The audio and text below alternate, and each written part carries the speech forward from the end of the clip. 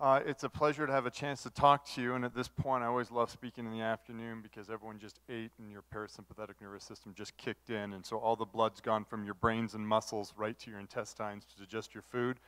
So either you're going to have a fantastic nap or hopefully learn something. So either way, we come out ahead.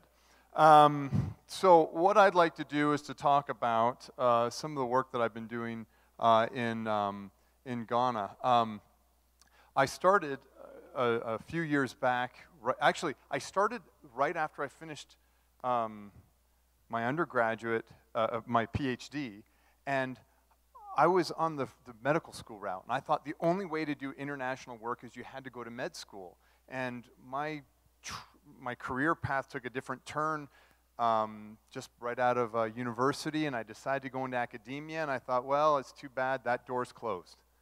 And, and then I started getting involved as soon as I finished graduate work, and I started getting involved here at the university, and the best thing that happened with regards to that is I had a chance to meet Dr. Hale and Dr. Alder uh, and learn from them about um, what makes a good international program. And I have the least sexiest job out of everyone here in that I teach people about anatomy. Now, I don't think it's, I think it's a fantastic thing, but hearing all the wonderful things that, um, that uh, Dr. DeVries and Dr. Price and everyone here is doing with regards to surgery, I, I went to Ghana for the first time with Dr. Alder and, and Dr. Hale, and I just wanted to go meet their anatomists and see, is there anything that I could do? And it was an amazing trip in 2005, which sparked a, a, fantastic working relationship that I have with them. And I just like this picture because there's Dr. Hale about 150 feet off the ground walking across a rope bridge. And he does a lot of things as an old guy. He is amazing at all the stuff that he does.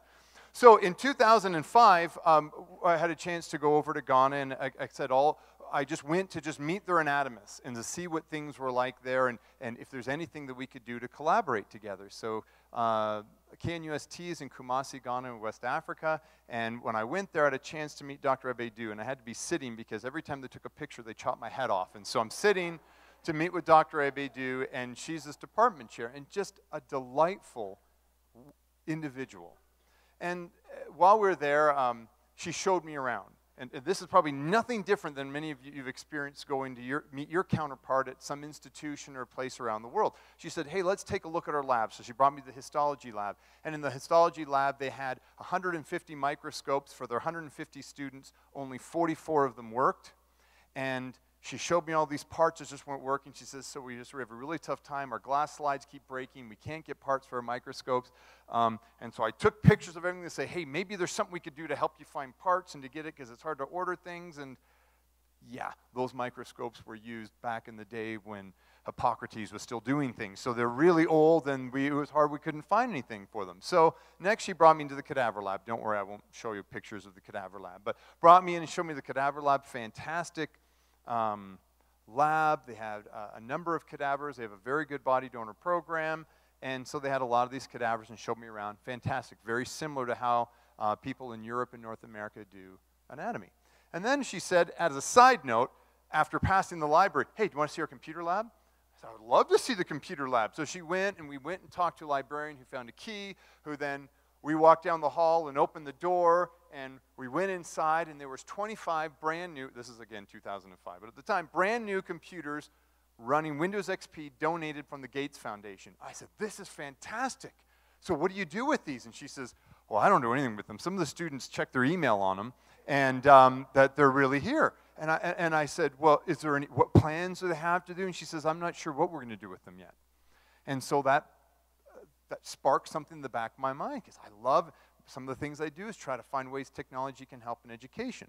So when I finished this two-week trip, and it was fantastic, um, some of the things learned was, well, one thing, uh, Kumasi's under the British medical system. People leave secondary school, go right into medical school, and they have three preclinical and then three clerkship years, and they're done med school. They had 144 students at that point per school, uh, uh, per class, and they had one and I said one and a half anatomists to teach all these students. I say one and a half because um, the one professor was only 50% time, and he passed away a year and a half later, and it's really been Dr. Abaidoo who teaches all three years. So basically, you're looking at close to 450 medical students that she does alone. And, and they don't have internet. Well, they didn't have intranet. They kind of had internet, but it was, it was running a little on the slow side. And uh, they had all these brand new computers, and she says, I would be very interested in collaboration. So that was in the summertime. So the following January, we came back, and I brought a colleague of mine. So those of you who have been who are here know Dr. Stensaas. She's been teaching here for quite a while. And Dr. Stensaas teaches neuroanatomy, and she says, I'll come with you. I love doing this stuff. So she came over, and we said to this Dr. Abaidoo, what can we do? Anything to help. So Dr. Abaidoo said, you know what? The biggest thing I need is we do small group learning. And we do both neuroanatomy and osteology labs. Can you do our first and second year student small groups? We're like, happy to. We do 10 groups, and they have, an, they have 10 people per group, and it's an hour each. 14 hours once through. Okay, so we said, giddy up. So we went inside and we grabbed bones and for one lab and there's and brains for the other one to help Dr. Abaidoo. And we basically saved her three days or she could be doing something else. And Dr. Stensaas and I went and we taught students. Had a fantastic time. But that's a lot of teaching for 14 hours approximately, all the way through these students to do this one group. And we thought, well, okay. Uh, it was a lot of fun, fun teaching. There's got to be a better way we could, that, that could be done with that. Lecture hall. She says, hey, can you help out some lecturing? We'd be happy to. We did some lecturing. So we go and, and it would be lecturing some students or whatever topic Dr. Abaidoo wanted us to go on. And something that I noticed when we were there is that you could tell the students who had money and those students who came from families who did not. Those who had money brought the brand new, shrink wrapped plastic, brand new textbook of anatomy, or the students who didn't, which came with a, a blank notebook. And they sat down. And so there's this big discrepancy, even from students there, about what they were bringing to lecture class. Again, these are brand new med students, in a sense, out of secondary school, and we had them their first and second year. So, something that we learned on this first trip. Well, something that we then discussed with Dr. Abaidoo. Could technology help reduce the amount of student teacher contact hours that were going on? Could we maybe do something with technology to help with this?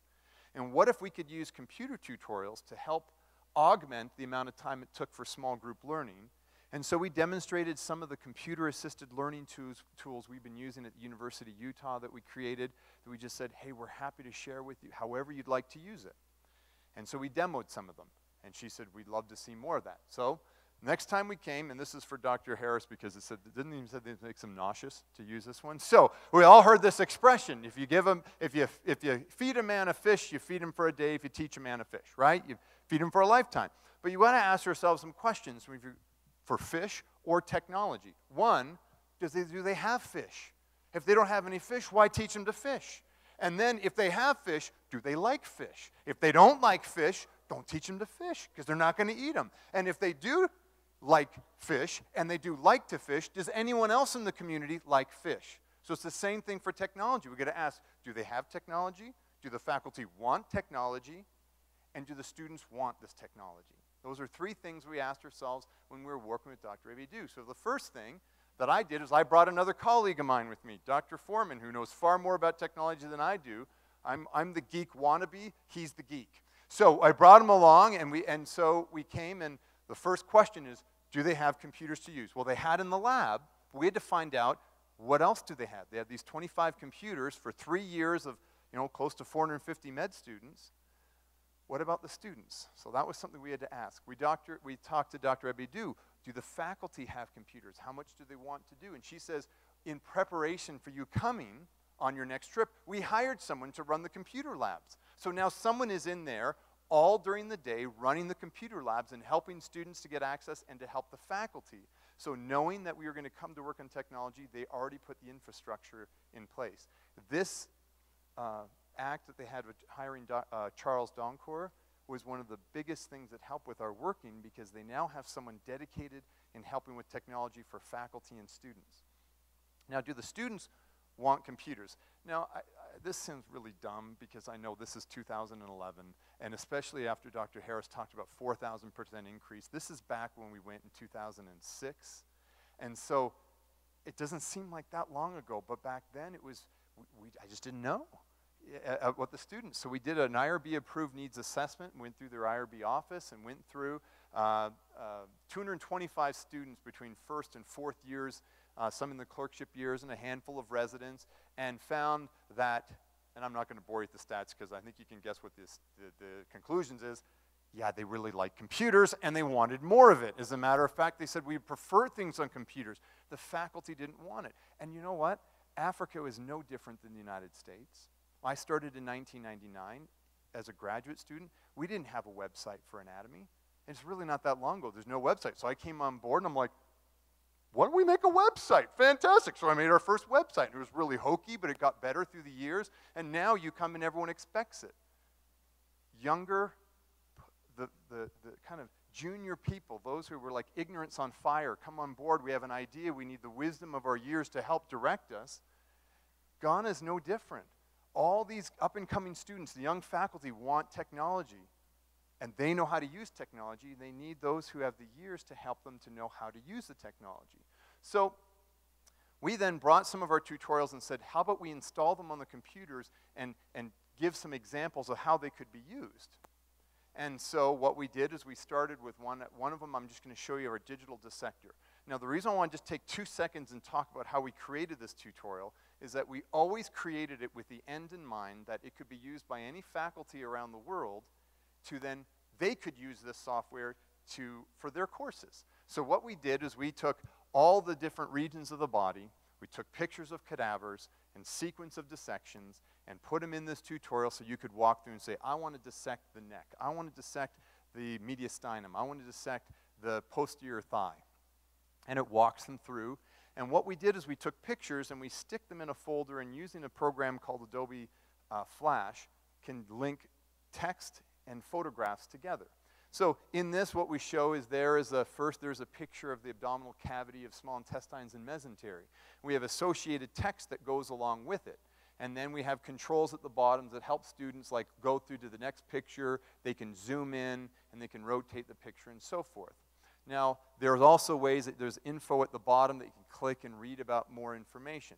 Now, cool, boy, that's really unique, isn't it? In, again, the year 2012. But back in 2003, when we created this thing, it was kind of novel at the time. But we created it not just for our students, but we created it for any faculty around the world who could use it. So way that we created is if you take pictures and you put them in a folder, and those pictures are the things that appear on the left-hand side of this tutorial.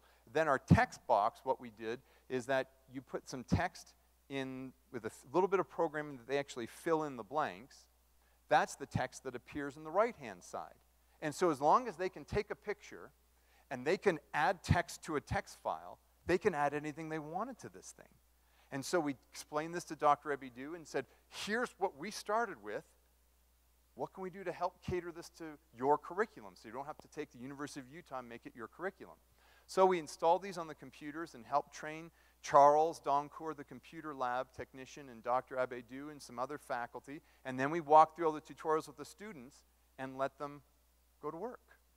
And so what we found over the past few years is that the students started installing these on their own computers. Now these students are, they, they would lug their hard drive across campus to bring their hard drive and install the programs and bring it back because we didn't have an intranet. They're bringing their laptop, they're bringing these external hard drives and installing them so they could have them.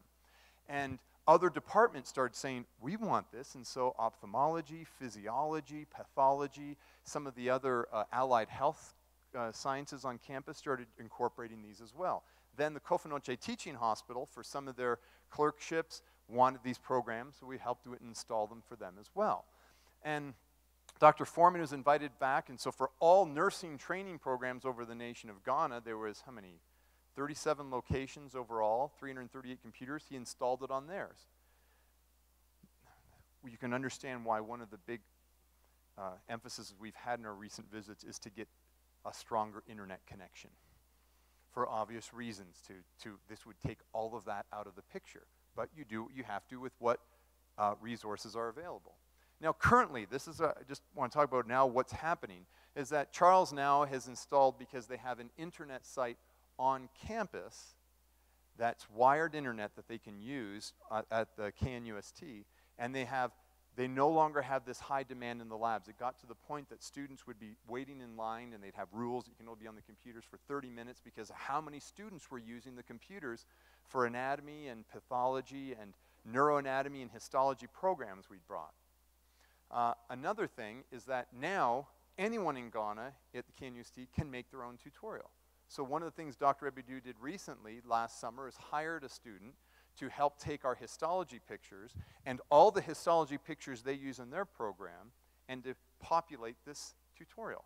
So now they're taking images that we have that, hey, simple squamous epithelium is simple squamous epithelium. But they've also had their library of pictures that they've got a microscope and they take their own pictures. They're populating and making the curriculum their own. Um, and this I won't read through this whole thing, uh, but one of the things that this is a correspondence I had with Charles this past year is that he said, now we're doing it at the KATH. Uh, they're, they're installing, uh, they're getting, they have a fantastic internet connection at the KATH. We're doing more of the programs. Um, he's got a paper he's working on right now, the use of, of IT by students of health sciences at, the, at KNUST and KATH, that uh, he's working on getting a grant. He's trying to get a biomedical informatics uh, program going at the, at the medical school right now, and he's working with the vice chancellor to help establish an informatics program. Um, Dr. Abaidoo, she is someone that I've, I mean, what she accomplishes amazes me. The thing, I, would say, the biggest thing I've learned about my work in Ghana is that these individuals, they, um, they're bright. They're, there's, you know, you think of anyone in academia, these are very bright individuals. We have nothing on the smart monopoly in the world. These people are very bright. They just lack many times as resources. So help Dr. Abaidoo, he teaches 35 hours per week. That doesn't include grading and so forth, of helping her now take some of the teaching responsibility and use technology. Um, uh, a couple of other things. We have a paper that we're working on together that hopefully will be uh, accepted and published this year, and that uh, we have a goal to help uh, have her attend some anatomy conferences to learn how technology is being used in North America and Europe in medical education. I mention this because any of the work that I hope to accomplish that would be positive is all because Dr. Abaidoo and I have a good collaboratory working environment. We talk, we get to go back and forth on ideas, and that's why. She's there 24 7, seven days a week, 365 days a year. She's always there. And I'm only there a few weeks out of the year. And so she's the one that you, I, have been able to find someone who's interested in collaboration, and we work together, and that's why any success we've had is because of her. Um, a couple of things as a result of that. Now we can do some collaboration with people in Accra and Hainan, China. I went once. Um, I, I'd love to do more, but as those of you know do international work, it's very easy to spread yourself thin. But one of the things that I found out recently is this tutorial we have, they've completely now converted it in both English and in Chinese. So they have the entire tutorial, so there's something like 2,700 anatomical terms that are throughout this tutorial, and the whole thing now is in English and in Chinese, so that they're not only learning anatomy, they're also learning English, which is something they try very hard to do um, at the medical college as well. So a couple of things for future work we want to do. So in conclusion, those are always nice words, aren't they, in a presentation, uh, is uh, the American Association of Anatomists is our main society here. They have a West African Anatomy Association, and one of the goals that we're trying to do in the next five years is to have um, a collaborative meeting in, in somewhere in West Africa where we have anatomists from our society meet with anatomists from their society and present on, on education and technology. They have a new PhD training program that I was just invited to be uh, um, an adjunct professor to help with their graduate students. And um, yeah, and Dr. Stensaas and I are working with them on establishing a neuroanatomy course. Um, I, none of this could be done without Dr. Ebegnega and Dr. Abaidoo, Drs. Foreman and Stensaas, and Drs. Alder and Hale. Thank you very much.